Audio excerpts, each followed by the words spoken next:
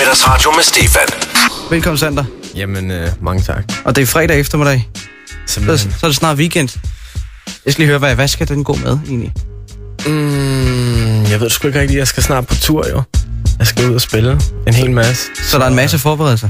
Ja, så jeg skal lige... Øh, jeg skal nok øve med bandet og lige finde ud af, hvad vi, hvad vi skal have med i sættet og det ene og det andet. Der er to plader på øh, derude nu. Mm-hmm. Og jeg skal lige høre, øh, faktisk, da det hele sådan startede, Ja. jeg, jeg har, vi, havde besøg af James Brown, og, og Pilfinger har du også arbejdet Ja, en lille smule med, ja, ikke? ja. Han Lidt fortalte, at dengang du, øh, inden, øh, det burde ikke være sådan her, Ja. der var der noget med, at du var ikke så stor fan af at, altså, at skulle lave musik, hvor du skulle synge, men du var sådan, du var mere, mere rappe egentlig. Ja, jeg ved, ja, jeg kunne sgu godt lide at synge, men, Ja. ja. men, men det var i hvert fald sådan halv-halv. Okay. Øhm, og det er det i virkeligheden stadigvæk. Hvis man lytter det første album igennem, så er det faktisk også halv-halv. Men alligevel, at, at ture sige, nu udgiver vi det, og nu prøver vi begge ting. Ja. Der er nogen, der siger, okay, Rasmus Sebak startede som, som rapper jo, og så gik han jo over, og nu er han jo fuldstændig sanger, ikke? Altså, ja. Og, og LOC, han gør nærmest det modsatte. Lige præcis. og du ligger stadigvæk midt i, men du kunne ikke sådan sige, nu, nu prøver jeg. Nej, men jeg, jeg, jeg har sgu altid, siden jeg var helt lille, har jeg gjort begge dele. Så øhm, og jeg, jeg hører rigtig, rigtig meget af al musik. Hvor meget skolet er du sådan fra, fra hjemmefronten? Musik Med- og... med musik? Øh, ja. Jo, rigtig meget selvfølgelig. Øhm, og ikke kun inden for musik, men inden for alt muligt. Alle mulige mærkelige ting. Ja, det er klart. Så, men, men musik har været en, en, en kæmpe, kæmpe stor del i, øh, i mit liv, og Ja. i hele min familie selvfølgelig. Det er jo det, det, det, det, det der er snakken, snakken over middagsbordet og, Ja. og det ene og det andet. Alting handler om musik. Du hedder jo Alexander. Sander, ja. Er det et kaldenavn, eller er det bare sådan, at det gør vi til et kunstnavn? Jamen, Sander er, er, er, et- er et kaldenavn. Jeg, der er næsten ikke nogen, der siger Alexander. Det er alt for langt, tror jeg.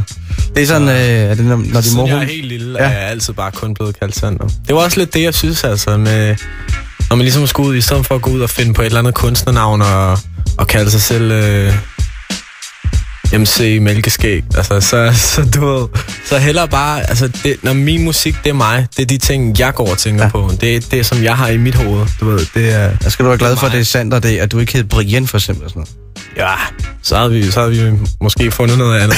Men, nej, nej. Men, men i hvert fald så, øh, det, altså for mig, der var det vigtigt, at, at, at det er mig. At det, som folk, de kalder mig og kender mig for, okay. det skal være mig. Jeg skal ikke ud og, og lave... Øh, altså for eksempel Liam, jeg har hørt ham mm. sige, at han... Øh, det er jo LOC, som er ja. hans initialer. Ja. Og hans initialer er jo kun en brøkdel af hans navn. Og det, det, som han vælger at vise, er kun en brøkdel af ham selv. Ah. Og derfor er det ikke hele hans navn, han bruger som kunstnernavn, det er hans initialer. Øhm, og det er jo helt klart, det er der jo rigtig mange, der har det på den måde, eller som der, som der gemmer sig bag nogle aliaser, Mm. for, fordi at de kun vil vise en side af, af dem selv. Ikke også? Hvor, hvor for mig, der, der er det vigtigt, at, øh, at det er mig. Det skal Hvis være folk- 100% Sander, ikke? Hvis folk vil lære mig at kende, så skal de bare høre mit album. Det er fredag eftermiddag, vi var op til weekenden, og det gør vi sågar med gæster i studiet. Og, og Sander, vi har snakket, vi har faktisk snakket en del fodbold. Yes. øh, er det sådan, den, er det, altså når du ikke handler om musik, Mm, så er det fodbold. fodbold, sport generelt måske? Nej, Nej, det er fodbold. det er fodbold, ja. Og, vi, og, Mest engelsk fodbold. og hvem holder man så med? Chelsea. Det Chelsea? skal man på med at sige. Lige så snart man siger, hvad man holder med og sådan noget, så er der altid folk, der holder med andre, ikke? Sådan er det jo. Okay, jeg kan ikke så godt lide Chelsea, men øh, det, det er også bare mig. Men, men Chelsea er også sådan hold, enten så elsker man det, eller også så hader man dem rigtig meget. Så Jeg vil sige, jeg nævner ikke, hvad for et hold jeg holder med, fordi at de, øh, de spiller rødt, og de har været med i Champions League-finale for nogle år siden. De spiller ikke særlig godt i øjeblikket. Det er Liverpool, hvis du lige øh, tænker. hvornår var de i Champions League? Det er jo for filen ved at være siden alligevel også, men altså, det har jo haft et hold og købt nogle spillere, og det... Var det der mod Leverkusen? Ja, Eller hvad fanden var det, de var i finale mod? de, de tabte, sidste gang der tabte de mod Milan. De tabte mod Milan? Milan sidste gang. Åh, oh, det var der, hvor de var foran. De Ja, men det var- foran, det var- De var foran 3-0 eller sådan noget, så tabte de 4-3. Yes. Ej, Men så mødte de dem så efterfølgende, hvor de fik røvfuld af Milan. Okay, okay. Så det er en lang historie. Men, øh, men, men fodbold, altså, øh, spiller du selv? Så meget Spiller- fodbold, så Jamen, jeg er nødt til at spørge. Mads derude og tænker, åh, nu begynder de at snakke om fodbold. Ja, Ej, men vi, skal, vi skal lige runde, altså, det må spil, undskylde spiller du selv, spiller du selv en gang imellem? Ja, jeg spiller. Jeg, spiller rigtig, jeg plejede at spille rigtig, rigtig meget. Og jeg vil sige, øh, til mit forsvar med hensyn til Chelsea, så har jeg holdt med dem, siden jeg var helt lille. Ah, okay. Og det var fordi min storebror og min storesøster, de øh, har boet over i London, så jeg var tit derovre, og så så vi fodboldkampe.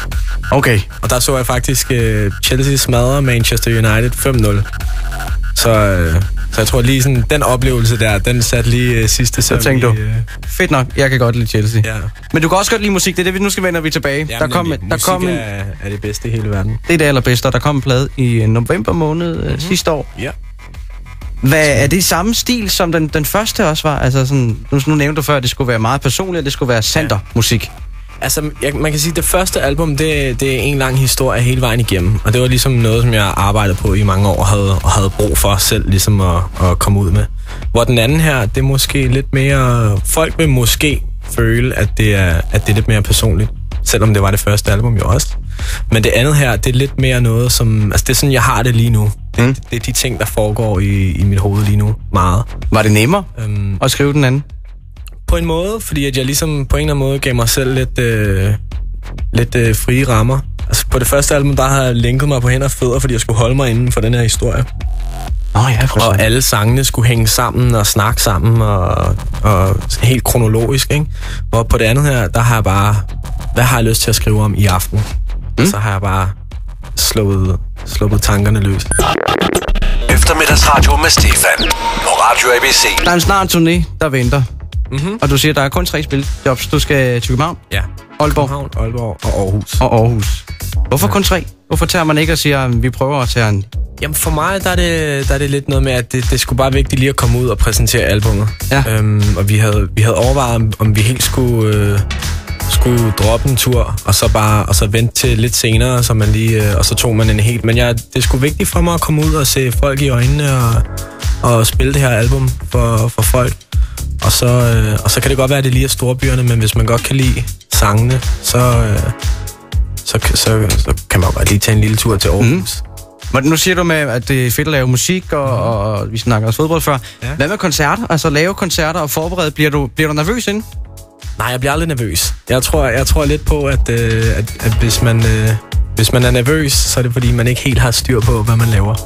Oh, Men, jeg, men lad mig sige, at jeg, jeg kan være rigtig spændt, inden jeg skal ind på scenen foran en masse mennesker. Men det synes jeg bare er et godt tegn. Så, så kan man mærke, at man er i live. Du har også lavet, du har også lavet tv for nylig med Voice, Danmarks største stemme, ikke? Øh, det, det er nu også noget helt andet. Men der, der er du også andet. på, og der, der er også ja. Ja. mennesker, der kigger. Øh, hvordan har det været?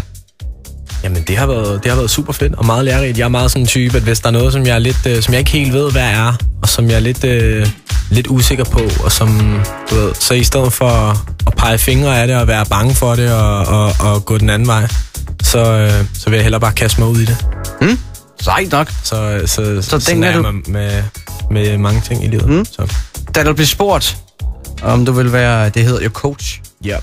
Sagde du så bare, ja, mm, jeg skal lige, uh, mm, mm, eller sagde du, ja, fandme ja, det er en Nej, god idé. jeg, jeg, jeg vil sige, jeg overvejer det rigtig, rigtig meget, og jeg øh, og lavet, lavet en lille liste med plusser og minuser. Nej, det gjorde jeg ikke, men jeg snakkede i hvert fald med, Okay. jeg har snakket med, med alle mine venner og min familie, og, og blandt andet Liam om det. Mm. Øh, fordi han havde jo gjort det en gang før, for at høre hans sange, og han, han sgu synes, at det var meget sjovt, og det ikke var så slemt. Og nu på den anden side, hvad siger du så? Jamen, det er sgu fint, og man, øh, og man lærer noget. Det, det er klart, det er, det er noget andet, fordi at, øh, at altså, som musiker, der, jeg, jeg laver musikken, og så skriver jeg, og så tager jeg ud og spiller, og så laver man nogle interviews, og sådan, så det hele handler ligesom om, om ens egen musik. Øh, øh, hvor det her, der skal man et eller andet sted sidde og tage stilling til, hvad nogle andre gør. Mm. Om det er godt eller dårligt, og om, om man skal bedømme andre, og du ved... Øhm, og det kan sgu være lidt svært med musik, fordi at øh, musik er musik er sgu udefinerbart på, på, på et eller andet plan. Altså, det er relativt fra menneske til menneske, hvad der, hvad der er rigtigt og forkert, og godt og dårligt og sådan noget. Så, så det, har, det har jeg sgu vende mig lidt til. Okay, men det er ret nok at komme så tilbage til at sige, mig, mig, mig, og nu skal vi bare give den gas med ja, min det, musik. det er ikke fordi, det er mig, mig, mig, men det er i hvert fald noget, som jeg ligesom kan, kan sige, om hvad tænker jeg? Hvad tænker jeg? Hvad føler jeg? Hvad har, hvad har jeg behov for? Og hvilken historie har jeg behov for at fortælle? Og så forhåbentlig sidder der nogen derude, som der, som der tænker, ej, det er lige præcis sådan der, jeg har det. Sådan. Jamen, jeg kan fortælle uh, senere uh, i løbet af de næste par der giver vi blandt os billetter væk til uh, din koncert i Aarhus. Yeah. Jeg tror også, vi har fået noget meet and greet på, på, på plads, så man kan få lov til at møde dig, ikke? Det kunne være hyggeligt. Jeg fik også lov til at møde dig denne fredag eftermiddag. Sander, tusind tak, og, Jamen, og held og lykke, og give den gas i 2013, ikke? Og i lige måde.